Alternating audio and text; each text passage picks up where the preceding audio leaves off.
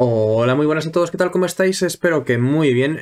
No habido en el canal y vamos con unos poquitos spoilers ya de lo que va saliendo de OP10. Ya hay creo que un número bastante decente de cartitas de las que podemos hablar, así que vamos a empezar un poquito y tenemos cosas que la verdad me hacen mucha, mucha, mucha ilusión en nuestro color verde. Y también hay cosas interesantes en el resto de colores, así que vamos a mirar un poquito lo que tenemos. Primera cartita, eh, este es Sanji, esta Sanji, eh, que básicamente durante nuestro turno gana más 3000 de poder y Wen Kao robamos carta. Entonces por 3 tenemos un 3000, eh, que básicamente, por ejemplo, con el Sanji de PRB puede ser un, 6, o un 3-6000 Rusher, con counter, bastante, bastante bien. Y si le hacen KO, robamos carta. Mm, a la hora de hacerle KO es muy fácil porque pegas con un 5 de 5 a 3 ya te pide dos cartas en mano, casi nunca lo vas a querer defender. Entonces como que no mete mucha presión en mesa, es muy fácil de que te lo quiten, pero a cambio te da, te da robo. Entonces, con el Sanji de PRB creo que va a ser una carta bastante interesante en el sentido de que entra, pega duro, queda ahí, si te lo quitan te va a dar más cartas con las que vas a bajar otra vez, va a pegar aún más duro. Entonces, la veo interesante para, para el deck del propio Sanji de PRB, Fuera de eso, no sé hasta qué punto va a poder llegar a jugarse bien, pero mínimo, mínimo es una carta interesante que puede tener eh, hueco. Y aquí os dejo un poco el arte, es una SR que se ve aquí abajo. Pero carta interesante. No creo que vaya a ser carísima. Tiene pinta de mítica SR, que si eso te cuesta un euro. Vergo, aquí lo tenéis. Básicamente es un buscador de Punhazard. No tiene mucho más. Eh, lo de siempre, tiene Vergo tiene 25 tags, con lo cual va a ser eh, una carta muy útil en un deck que utilice varios arquetipos. Pero, pero tiene pinta de que Pun Hazard al menos va a ser bastante estándar consigo mismo y como mucho se combinaría con Navy y poco más. Así que buscador de Pun Hazard para Caesar. Smiley, on play, si tu líder eh, tiene Pun Hazard, le das a un, bicho del rival menos 3000 de poder, con, lo cual con la habilidad de Caesar ya se pueden hacer combitos muy tontos.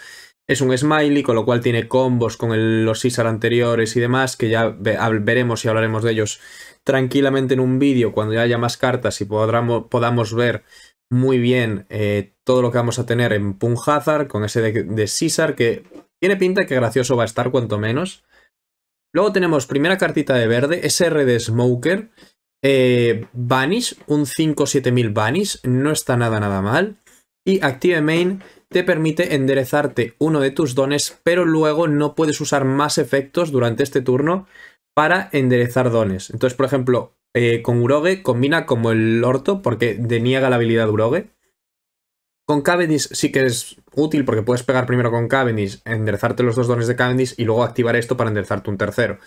Entonces, con ese. Con Cavendish sí, pero con todos los demás que enderezan dones al finalizar el turno, Carrot, eh, Dellinger, eh, y demás, básicamente no sirve, no funciona. Es interesante, también te digo, eh, se puede llegar a plantear una lista que sea Supernova Navy, por ejemplo, para Bonnie, dependiendo de lo que salga. Si le dan, por ejemplo, un buscador verde a Navy y algún boss así medio decente, Ojo, cuidado con que Bonnie no pueda evolucionar a un Supernova, Supernova Navy, que podría estar bastante, bastante gracioso.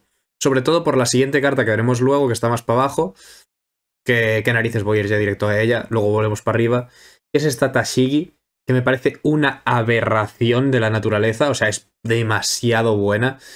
Uno, es Counter 2000. O sea, por fin Verde tiene un Counter 2000 roto, de verdad. Que lo mejor que teníamos era el Izo y el Mihawk, que estaban bien. Pero esto es otra cosa. Si uno de tus personajes verdes, otro que no sea Tashigi, fuera a ser removido del juego por un efecto del oponente, da igual por qué, en su lugar puede restear a este bicho. Con lo cual, plantas un Keith, giras Keith, metes Tashigi, porque recordemos que Keith, por ejemplo, baja costes 3.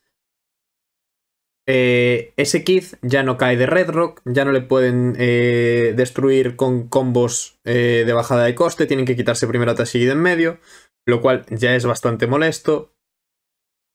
Porque te tienes que quitar y ser capaz de quitarte un 3 primero de en medio y una vez que te has quitado ese 3 ser capaz de quitarte un 8.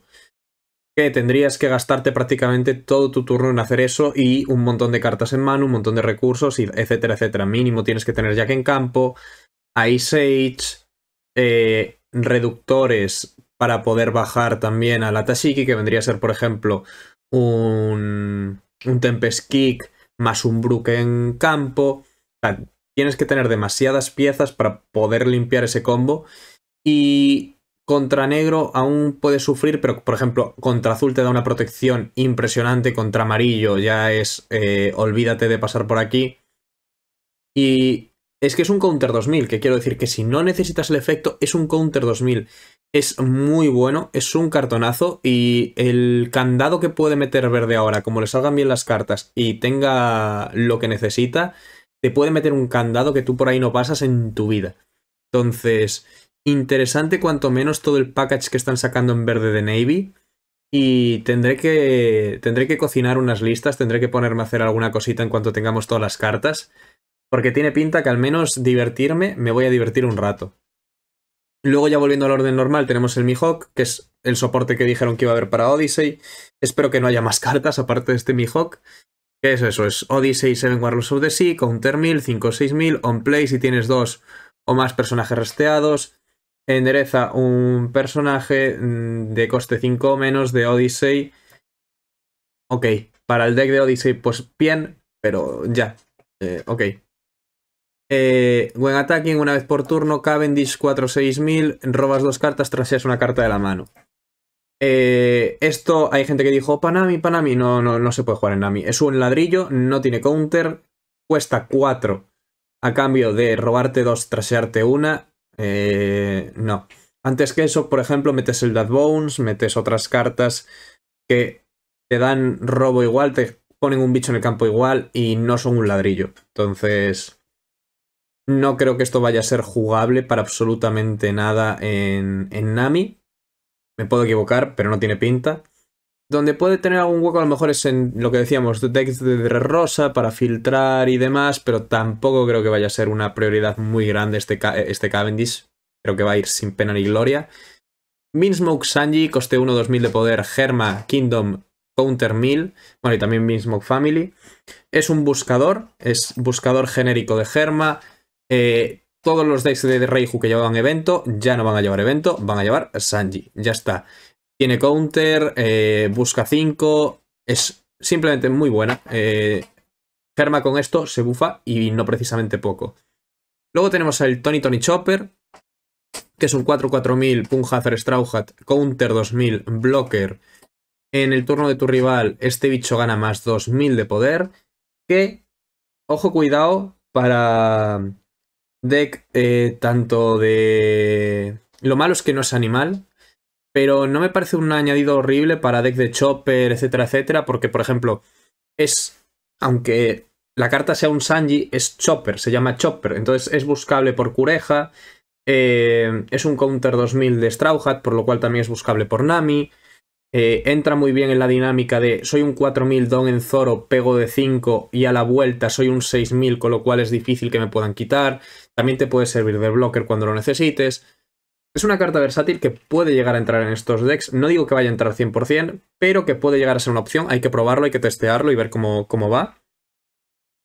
Luego tenemos a este Siryu, que es eh, personaje negro de Piratas de Barba Negra, con 1000, 4, 5000 que eh, durante el turno del oponente este personaje gana más 2000 de poder, le gusta bastante al parecer en esta colección esta frasecita. Y luego, active main, eh, si esta carta fue jugada en este turno y tu líder es Barba Negra, destruyes un personaje del rival de coste 3 o menos. No lo veo mal, es un 4-5 que destruye al entrar para Barba Negra, que es un poco ¿cómo decirlo? Dentro de los decks negros es quizás el que más sufre a la hora de remover. Mm, no tengo tan pillado el Barba Negra como para ver si tiene hueco o no tiene hueco, pero creo que como añadido me parece interesante. Luego tenemos a Rock y a Scotch, que son estos dos de aquí, que son los míticos de si no tienes a uno y juegas a uno, sacas al otro. Entonces es como, juego a este, no tengo a este, pues lo bajo. Uno es blocker y el otro no hace absolutamente nada. son un 2000 y un 2-3000. Eh, esto no se va a jugar, pero ni borrachos. O sea, único deck de arquetipo de Punjazar ultra cerrado que no tenga otra cosa, pero es eh, flojo no lo siguiente. Luego tenemos este eventito, que es el de no necesitamos más a los Ichibukais, que es evento 4, o sea, evento negro de coste 4, perdón, que main destruyes un personaje del rival que sea Seven Warlords of the Sea de coste 8 menos y trigger destruye un personaje que sea Seven Warlords of the Sea de coste 4 menos. Me parece una mierda y no digo otra cosa porque es que es completa basura. No estás jugando contra alguien que lleve Ichibukais y esta carta es un ladrillo en mano que no te sirve para absolutamente nada y está molestando. Y aunque juegues contra Shichibukais, la mayoría de los que se juegan ahora mismo son costes 4. Entonces estás tradeando 4 de coste por 4 de coste. ¿Qué dices? Ok, ¿para qué? Eh, si hubiera Sidek, si en este juego hubiera Sidek, esta es la mítica carta que si se popularizan eh, los Ichibukais y jugaras al mejor de 3 y hubiera Sidek, pues tú dices, pues me meto un par o me meto algunas en el side por eh, si sale matchup concreto, si te juegan esas boas, si te juegan ese tipo de cartas, eh, que son ya, es un poco más grandes, que ahora no se están jugando tanto, pero a futuro podrían llegar a verse, pues sí que puede ser interesante. Pero eh, ahora mismo y sin side no veo por qué tú querrías meter esta cosa de ninguna de las formas en tu deck. Luego tenemos el UFO, este, la verdad es que ya me hace más gracia. Main, dale a un personaje del rival menos 4000 de poder hasta el final del turno y luego si tienes dos vidas eh, o menos, le das a tu líder o a un personaje más 1000 de poder hasta el final del turno. Es main, recordad que no es counter, entonces no sirve para defender, pero esto combinado con, por ejemplo, la habilidad de Caesar y demás puede ser interesante, no está del todo mal. Y Trigger destruye un personaje del rival de 3000 de poder o menos. El Trigger creo que va a ser bastante flojo porque en general te puede llegar a servir para quitarte alguna carta de estas de soporte que son molestas, las míticas que quedan activas tocando las narices. Eh, o yo que sé, incluso aunque no queden activas, que, una Sugar, cualquiera de estos personajes molestos, te puede llegar a servir, pero el trigger va a ser muy, muy, situacional. Pero el main en sus decks creo que puede, puede ser útil. Luego tenemos el Electromagnetic Cannon de, de Keith Evento de coste 4, main, eh, miras una carta del top de las vidas de tu rival, la colocas en el top o en el botón de las vidas y luego destruyes un personaje de coste 5 del rival. Por 4, destruir un 5 y colocarle las vidas no está mal, no es horrible, no me parece algo que sea, está rotísimo, se va a jugar siempre, pero puede llegar a tener algún hueco Mm, no creo que esta carta vaya a romper precisamente el deck, pero no está mal. Y sobre todo porque tiene este trigger de robas dos, descartas una, que te sale esto de trigger y tú estás bastante feliz. Luego tenemos el range, el range attack de Usup, que es eh, main, robas una cartita. Luego devuelves un personaje de coste 2 o menos eh, del oponente a su mano. Si aquí te dejara devolverte tus propios bichos para boncearte y hacer combos con on place y tal, lo vería más interesante. Al no tener esa posibilidad, entiendo que lo hacen para que tampoco pueda usarlo Nami y abuse de bajo calla, bonceo mientras robo vuelvo a bajar calla, aunque por coste 3 tampoco sería algo espectacular, pero bueno, estaría esa opción. Em, y luego tiene trigger de devolver un coste 2 o menos eh, a la mano, que ahí sí que te podrías devolver tus propios bichos. Lo veo caro para lo que hace, la verdad, pero eh, situacionalmente se podría llegar a jugar, aunque no lo creo, la verdad. Luego, eventito de supernovas de Punjazar y de Her Pirates verde, que básicamente main y counter destruye un personaje del rival de coste 7 o menos, por 5. Dejarte 5 dones activos para hacerlo de counter es la cosa más de enfermo mental que puedo llegar a ver en este juego. Y tirarlo de main, pues oye, a ver, eh, si tradeas un, un bicho de coste 7 molesto, problema que Jack, por ejemplo, te dice, yo no soy un 7, yo soy un 11. Soy un 11. A mí esto no. Y claro, eh, 7 es así ultra molestos en el juego, ahora quitando ese, tampoco es que haya así que esta carta pueda limpiar de forma... Porque si esto fueran 8 y tuviera rango Katakuris, Morias, Kids, ya te digo, por 5 destruir un 8, entra. Entra bien. Pero por 5 destruir un 7 y sin trigger ni nada, no creo que vaya a haber mucho juego, la verdad. Lo que sí que va a haber juegos es este monstruo. Eh, Eustace Captain Keith, amarillo 8-9000. On play, resteas este bicho y le trasheas una vida al rival. Porque puedes. Y al final de tu turno, si tu oponente tiene dos o menos vidas, robas una carta y descartas uno. Entonces, si tu rival tiene, es un líder bicolor de cuatro vidas, básicamente con que le quites una, al bajar a este bicho ya se cumple su efecto, ya puedes ciclar de continuo. Y eh, es que lo de trashearle una vida directamente mientras bajas un 8 9000 me parece algo bastante potente, bastante, bastante potente. Pero es que aparte recordad lo que hace el propio líder eh, de Keith, es, eh, te puedes enderezar un coste 8 o menor. Bueno, creo que había un límite también por abajo, pero bueno, eh, aquí en este caso nos la pela, porque estamos yendo para el límite de por arriba, pero vamos a poner aquí un segundo. Es entre 3 y 8 de coste y gana blocker. Entonces, tenemos que de repente eh, nos encontramos con que hay un 8 9000 que entra al campo, le trasea una vida al rival, nos cicla carta en mano y luego se endereza y se pone blocker. Es cierto que tienes que poner una vida boca arriba para ello, pero es que estamos teniendo una curva y eh, aquí quiero hablar un segundo de la siguiente carta y luego hablaré de la curva, que es este Basil, que es un 4-5000 counter 1000 que Onkao eh, traseas una carta del top de las vidas del rival, o sea que olvidaos de hacerle caos a este señor, al menos es mientras tengáis vidas, y Trigger roba dos, trasea, o sea, descarta una. Estamos viendo que hay mucho Trigger de roba dos, descarta una en los supernovas amarillos, lo cual es bien, pero es que es eso. Vamos a poner que vamos nosotros segundos. Turno 2, bajo este Basil ya tengo una carta molesta en campo que va a dar por saco con el que puedo pegar y meter presión y probablemente no me lo vayan a quitar nunca porque jaja les cuesta una vida. Bien, en turno de 6 dones, por ejemplo, plantas el Luffy Picavidas con toda tu gracia y toda tu risa.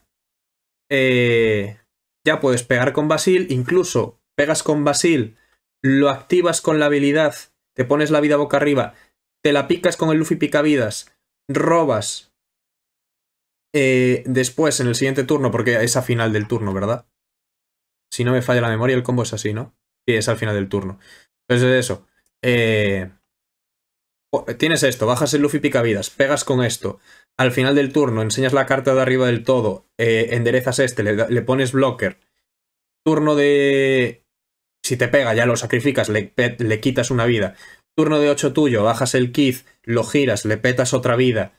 Eh, en, usas el Luffy picavidas, te quitas esa vida, el Luffy se convierte en un 8000, tú robas, puedes volver a enderezar al Keith a final del turno dando blocker, haciendo que sea un 9000 blocker, que te cicla otra vez más cartas. Es. Ya tenemos una curva, cuidado con la potencia de esta curva que está saliendo, que es bastante graciosa, ¿eh? Es cierto que faltan muchas más cartas por ver, porque solo con estas tres, pues no haces nada, pero si tú empiezas una partida y ves estas tres en mano yendo segundo, ojo, cuidado las tonterías que puedes hacer. Luego tenemos un Capone Vege, que es un counter 2000 del arquetipo, entonces tiene pinta de que se va a jugar, que es un coste 1-0 de poder. On play, añades una carta del top o el bottom de tus vidas a tu mano y eh, añades un personaje que sea supernova de tu mano al tope de las vidas boca arriba. Esta carta está más pensada, supongo que para el lo, para colocarte las vidas y poder hacer el combito con la habilidad del líder, bajar bicho, etcétera, etcétera. Pero bueno, es un Counter 2000 del arquetipo que probablemente en Kid también se acabe jugando. Así que ni tan mal. Y luego tenemos vainillitas, que había salido este vainilla de Frank y luego había otro vainilla más que había visto por Twitter. Pero bueno, son vainillas, dan un poco, un poco más igual. Y estos son los spoilers que, hay por ahora, que tenemos por ahora. Eh, a medida que vayamos teniendo más, que vayamos viendo más cartitas, eh, iré trayéndolas al canal, hablando de ellas. Pero ya digo, eh, el Smoker está bien, pero la que realmente me revienta es esta tasilla. O sea, tengo unas ganas de enganchar esta carta que no os hacéis una idea. Eh, la voy a jugar bastante fuerte. Y ojalá, os lo digo en serio, ojalá se pueda hacer algo con Navy en verde, porque estaría bastante gracioso. Eh, luego estos dos, lo que dije, me parecen bastante flojos. Esto también me parece inútil. Para su deck sin más puede ser medianamente, ni de coña, ni de coña, carta rota, carta rota, carta decente de Counter 2000 y un vainilla. Me esperaba menos de OP10, o sea, la verdad es que esto de aquí me ha sorprendido bastante, creo que el deck de Keith puede quedar algo bastante, bastante gracioso. pero me está gustando lo que estoy viendo de OP10 por ahora. Falta ver, falta por confirmar, pero me está gustando mucho. Así que poquito más, estos son los spoilers que tenemos. Lo de siempre, si os ha gustado el vídeo ya sabéis, darle a like, suscribiros y activar las notificaciones. En comentarios me podéis dejar cualquier cosilla y tenéis mi Instagram y mi Twitter y mi Discord, mi servidor de Discord, abajo en la descripción, que es este servidor de aquí, que para cualquier cosilla me podéis contactar por ahí.